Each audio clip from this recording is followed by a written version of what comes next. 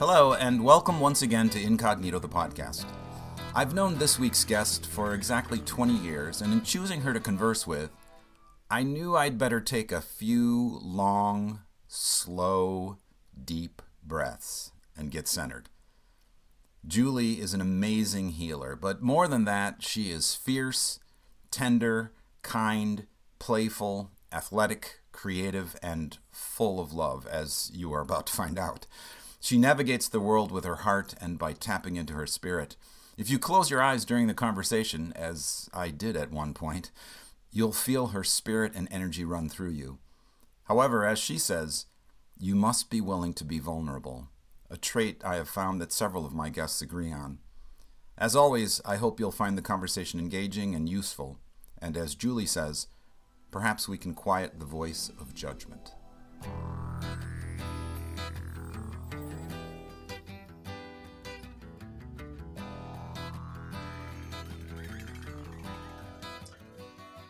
Hello, and welcome to Incognito the podcast. I'm your host, Michael Fosberg, and today my guest is Julie Daley, and she is a teacher of creativity in business, a consultant, and a certified professional coach with a unique combination of heart, soul, intelligence, and wisdom.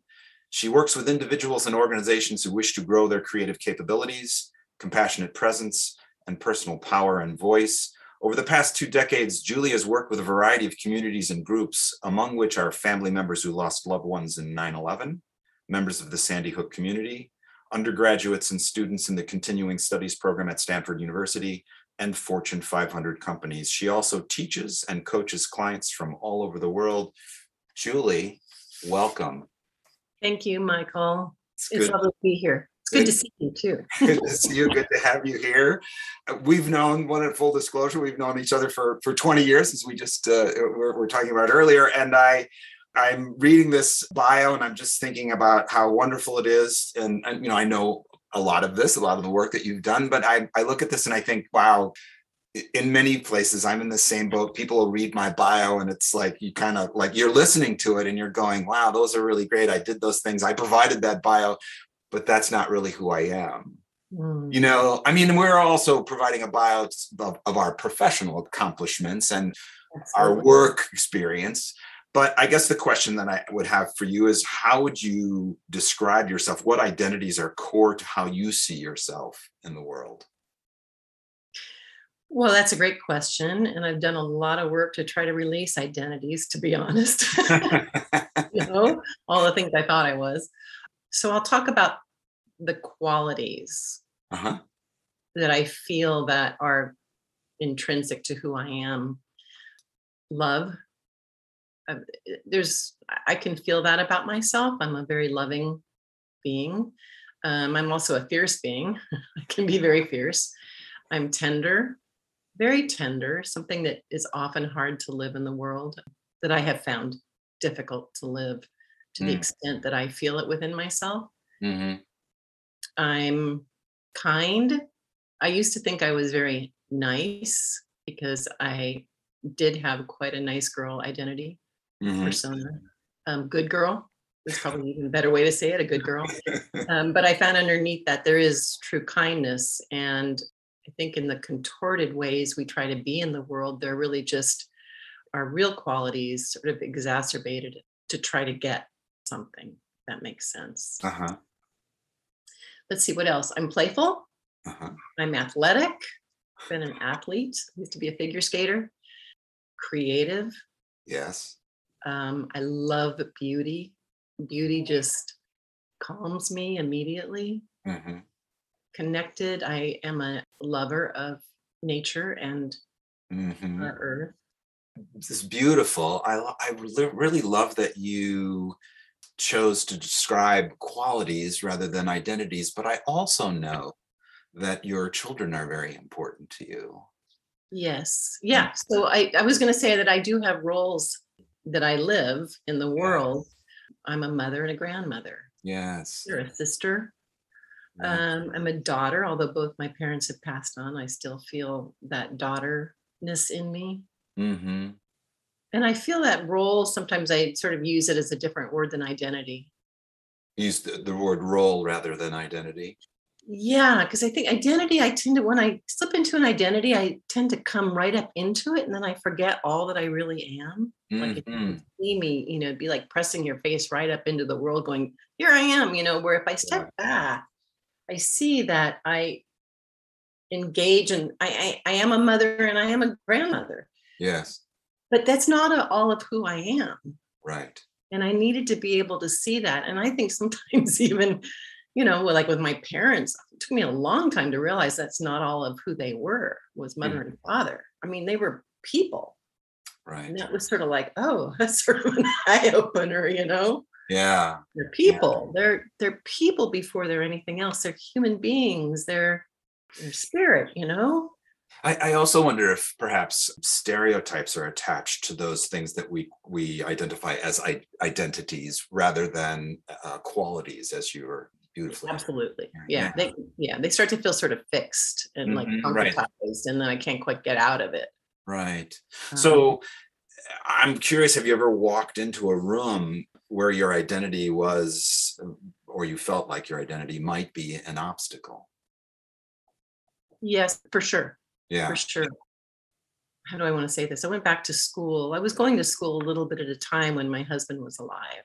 Mhm. And then when he died suddenly, I was 38 and I started going to school more uh, at the local community college. And there, my identity as a 38 year old woman, there were a lot of people there my age. No, we were just, some were taking courses for fun. I was taking courses t- to get my degree eventually Mhm. but I ended up transferring to Stanford Mhm. at um, 42 Mm. as an undergrad. Wow. And I remember walking into a sophomore seminar, and I, until I finished my first quarter, I was technically a sophomore, and then I would be a junior. So I could be in this sophomore seminar. There were only like 12 students, very small, really renowned professors, you know. And so I thought I really wanted to take this class. And I walk in, and there were only a few of the students seated at that point, And they looked at me like, Are you you're not the professor because this is the professor's a man, you're a woman, but you're old enough to be. Who are you? Are you in the right room? They didn't say anything. Yeah. And I got that from every single one that came into the room and looked at me. Wow. And it was it was just a very odd feeling because I knew I belonged there. And Mhm. eventually everybody got comfortable with me. Yeah. But everybody else's face was like, you don't belong here. so that was my that would be the first thing that I'd say about that. I didn't realize as an older older person applying to Stanford that I might not have to actually retake my SATs. And so here I was 42 years old and I signed up to take my SAT tests again and the SAT 2 tests at a high school. And I had to walk in and sit down next to all these other high school students and take this SAT test. I mean, I was mortified. I was so ashamed, and which is quite an interesting thing to say, right? Because most people listening to that would say, wow, what courage, what bravery. I didn't feel courageous. I felt ashamed. Dang, Did it anyway. I did it. And I actually scored really well. yeah. Despite feeling that way, you scored. And think about like, so there's you feeling that and all of the pressure of that, and you got to take this test, and it's not an easy test, and you're taking this. And then there's all these young kids in the room who are probably also thinking, oh my gosh, this person is an older person. Maybe they're thinking this person is really, really smart because they're older, or maybe they're thinking, why is this older person? You know, what I mean, there's a million different things that they could be thinking about that you're, but you're all in your process of going through what you're going through and trying to make it through.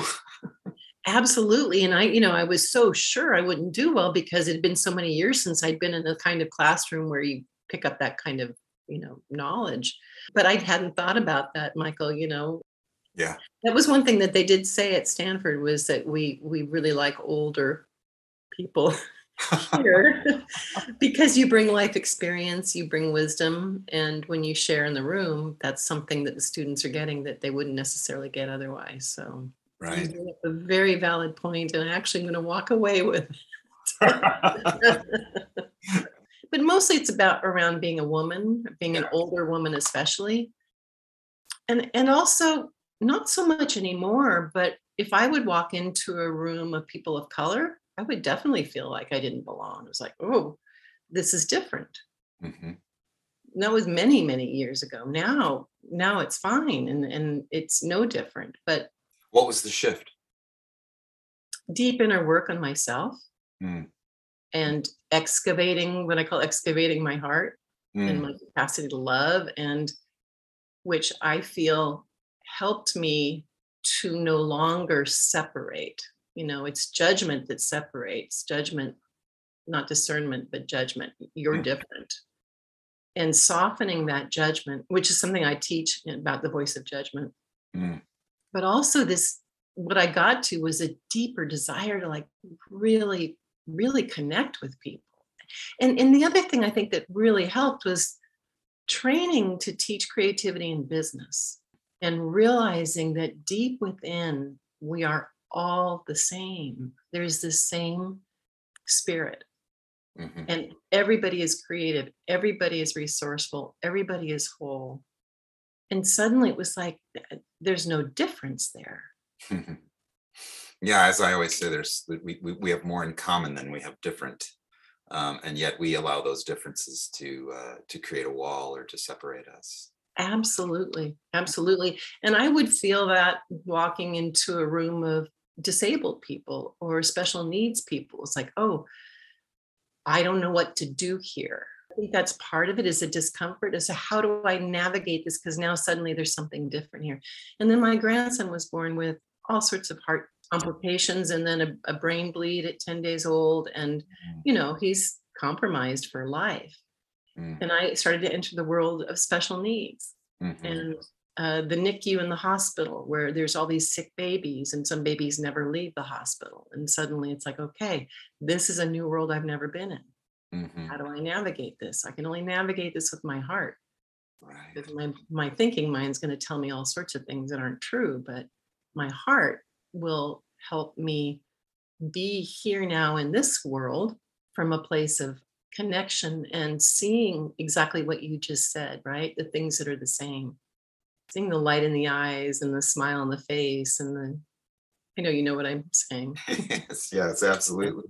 Well, th- that sort of brings a little bit of a transition to the next question I'd like to ask you, which is in your work, and your work, um, as I know it, is so deep and so healing. How do you go about creating an environment conducive to collaboration?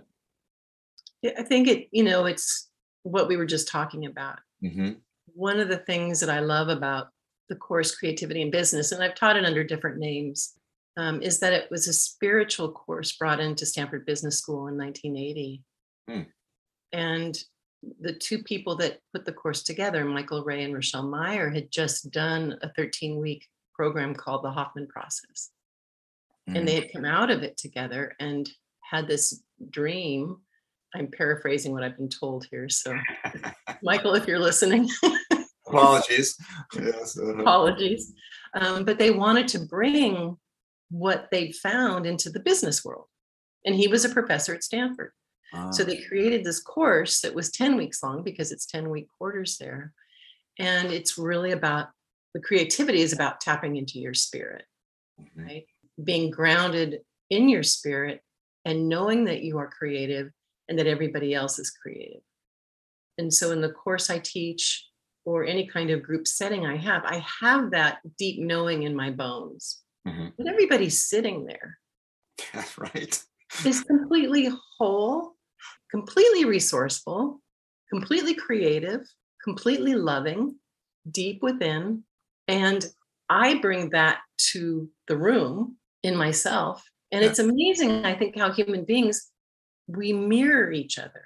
Ah, We uh-huh. walk in with fear, you know, that's going to get mirrored. I don't know the neurobiology behind that, or the psychology behind that. I've read a bit on it, but I've, I've seen it in my, like my work with 9 11 families. I could come in grounded. I've had deep grief in my life, so I could be in the room with people who were grieving. I'm not afraid of it. So it's, it's I think it asks us to come in with our humanity, but deeper than that, with our divinity. I want to say I don't mean that word in a religious sense. Yes, yes. So you walk into the room, the way that you walk into the room is you are carrying yourself, your heart, your openness, your understanding of we're all creative here. Do you feel you need to do something in addition to that? How do you get people to buy into that? Right. Well, that that's just the starting place, right? Yes, right. In what I do, because I teach the work I teach, eventually people come to see that what I'm saying is true, not only within themselves, but in the people in the room with them.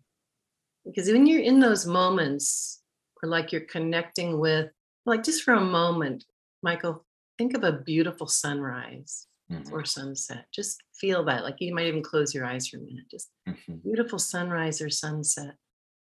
Or looking in a newborn baby's eyes a moment in your life when you said the right, just the right thing at just the right time.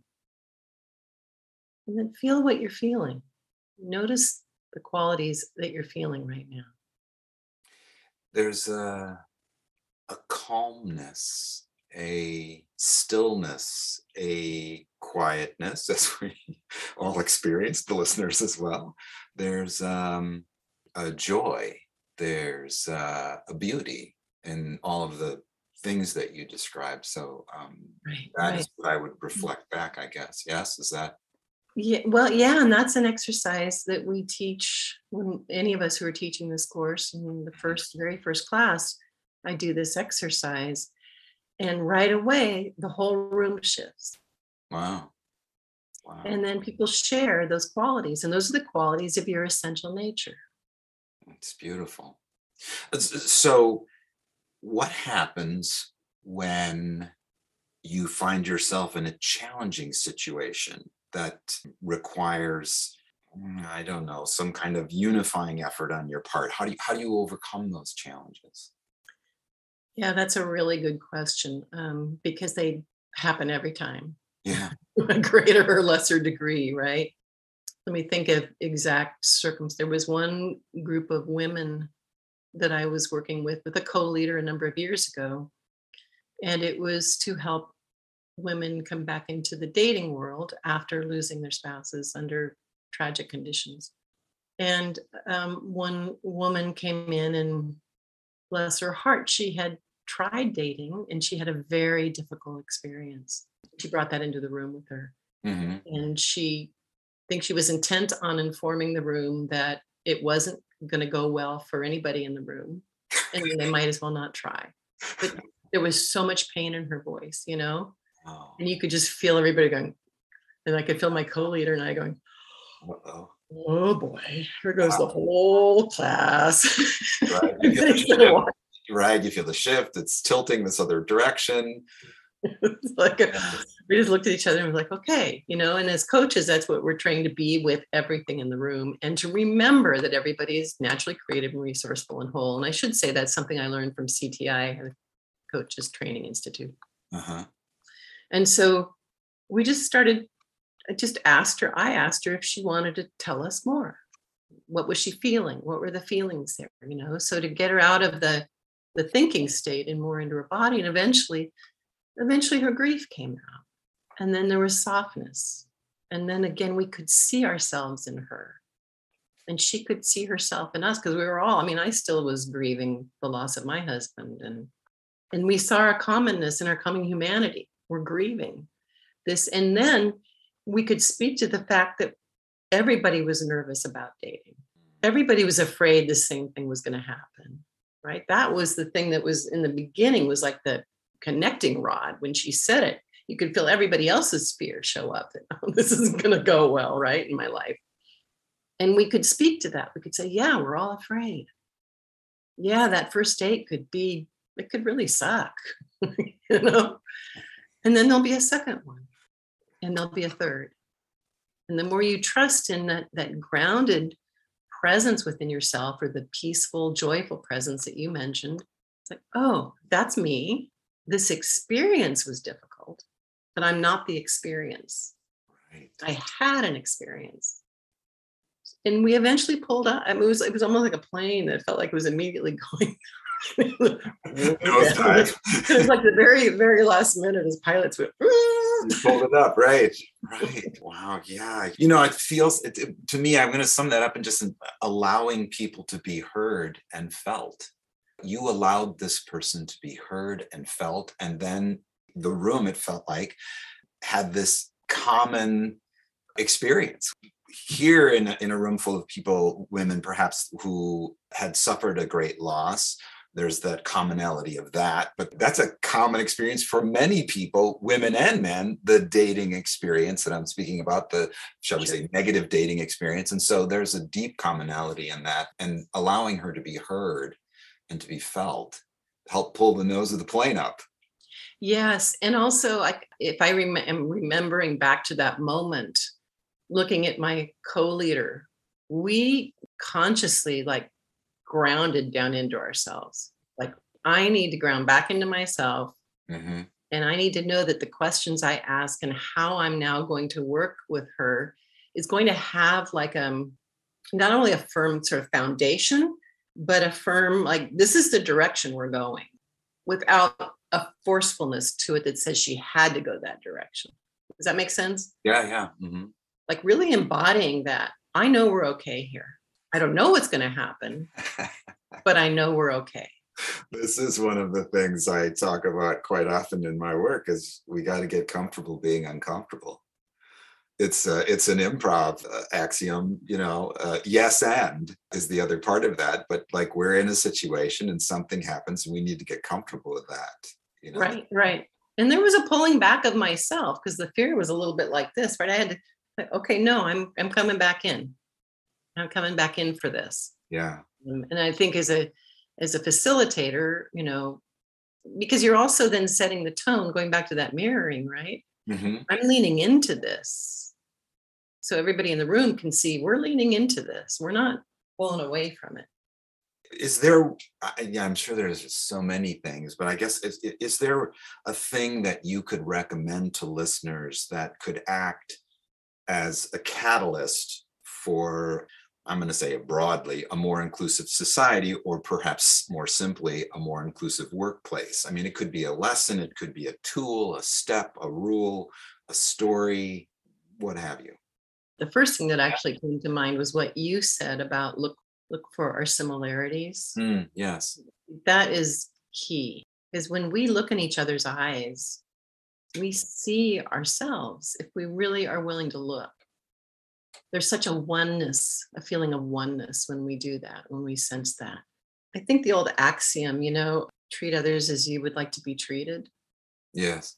There's this there's this sense of dignifying humanity dignifying who we are dignifying our bones and our blood and our bodies and our spirit our humanity just dignifying this experience. There's something about dignity that really i think it's really important here and that every other human being deserves dignity and they deserve to be able to express themselves you know the spirit within to be able to to voice the beauty and the love and the fierceness that's also inside. That's probably the biggest thing that is overarches or is underneath the work that i do that ties it all together is that i i just long for the day when every human being is free to be happy, joyful, creative, feel safe, feel held, know that we are loved beyond anything we can imagine. And I would add animals as well, but I specifically work with humans and to know that that voice can be freed.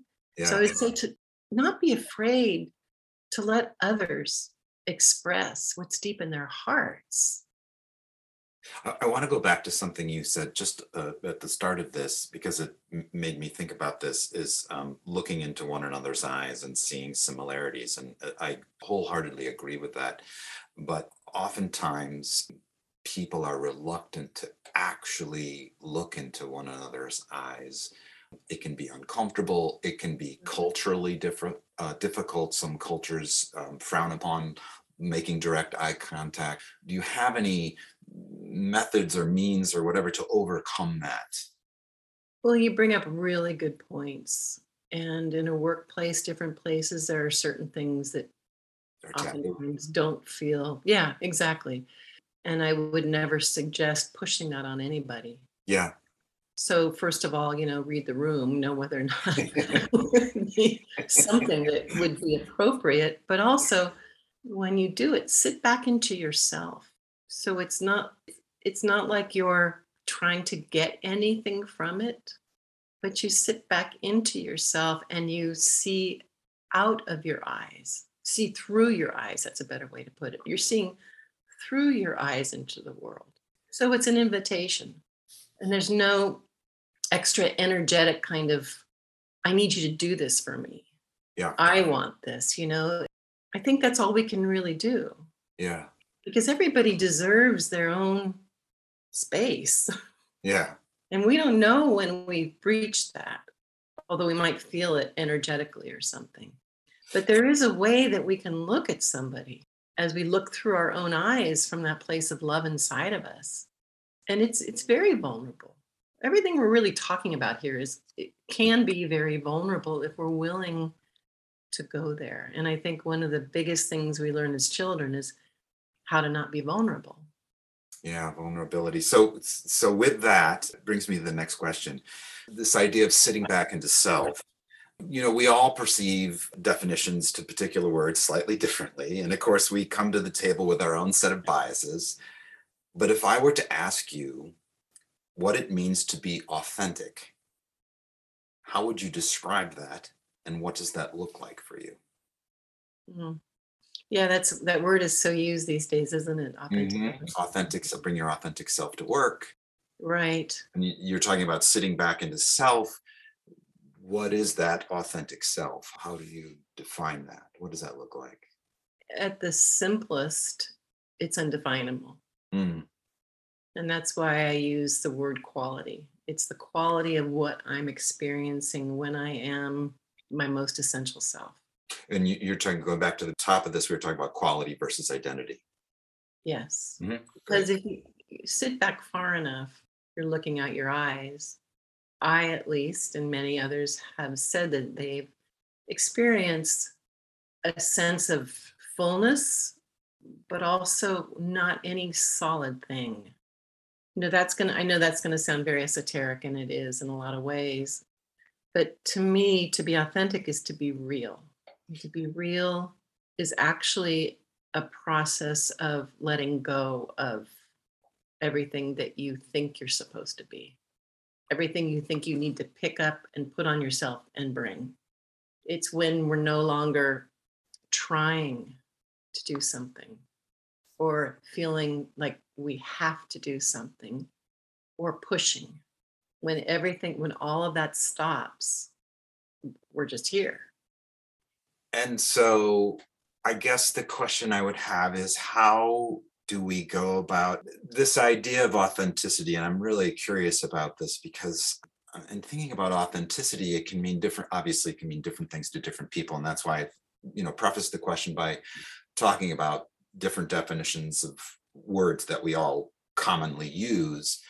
Is there a universal way to look at the idea of authenticity? Or is it, as you said to start off, that there might not be a tangible, specific definition to it? I think there's most likely a tangible way to talk about it, Mhm. but the experience of it isn't forced. The experience of a real moment isn't anything you can force. And I'm trying to stay from away from being so esoteric, but I'm really in that land right now. I like the word real. Yes.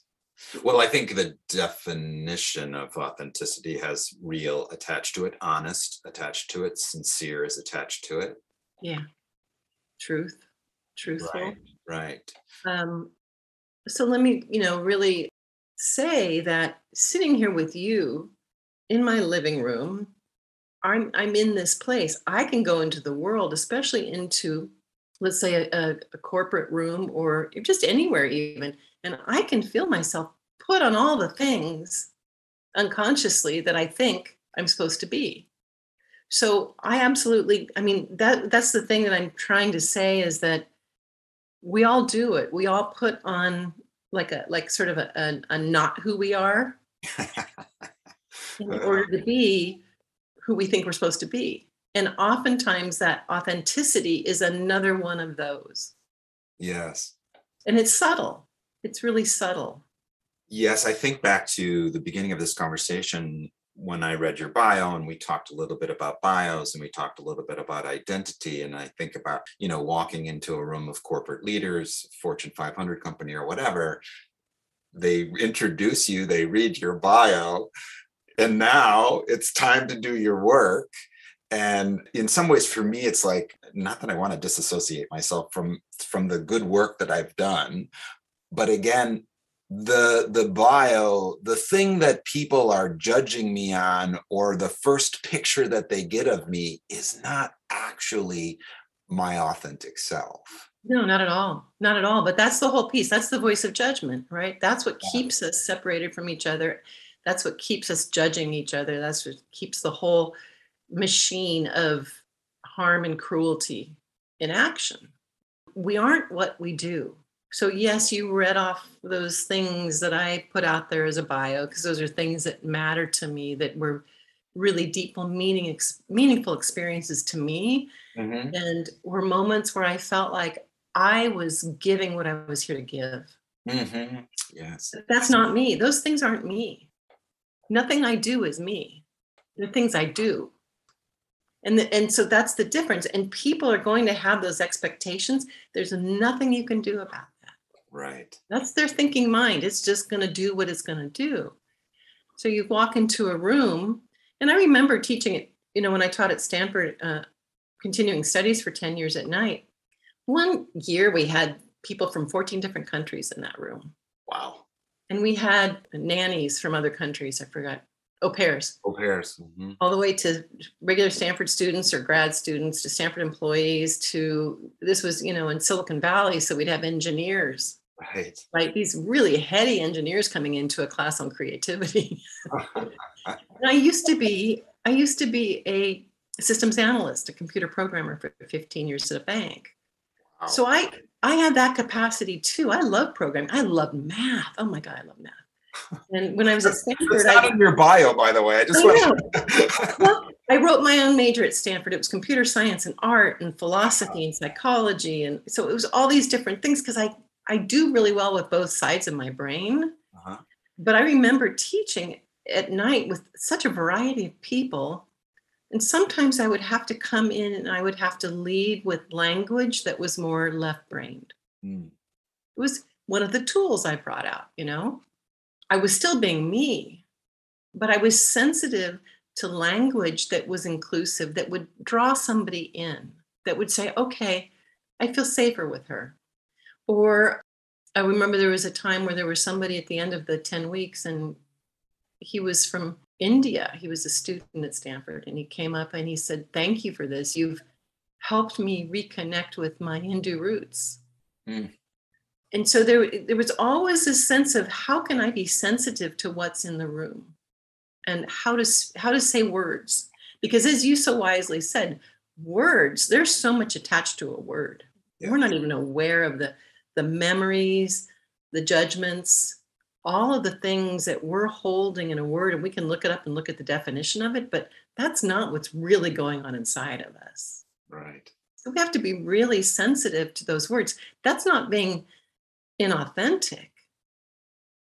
That's feeling for what would be connecting mm-hmm. the language we use, right? We can still be ourselves and still engage that cares about the other, that dignifies their experience, even if they're judging, even if they're going to have expectations. I know they're going to. I don't make that wrong about them. Yeah, yeah. I know I'm going to have expectations standing there, and I have to step back into myself and say, oh, I just judge. But that's not who I am. I'm not bad because I do these patterns. That's having a deep awareness. Yeah, that's having a deep awareness. But I do, I think that's absolutely right. I love what you said about using language that is inclusive to draw people in. It's also about what you had mentioned earlier about reading the room and being conscious of that. This has been a beautiful conversation.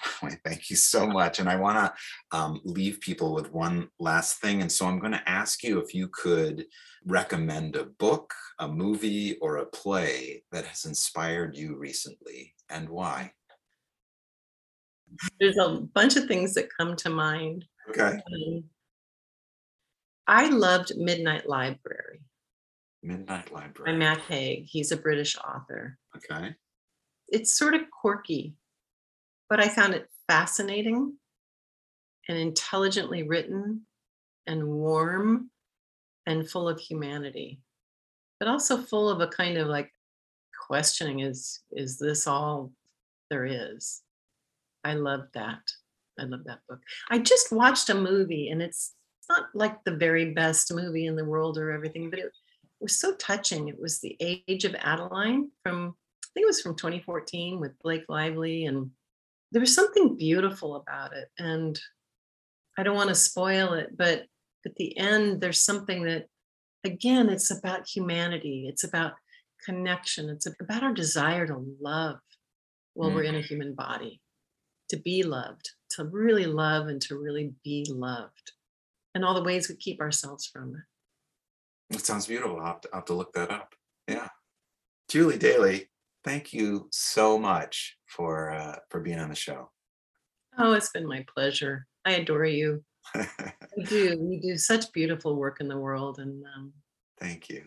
You mean a lot to me. Thank you. Thank you.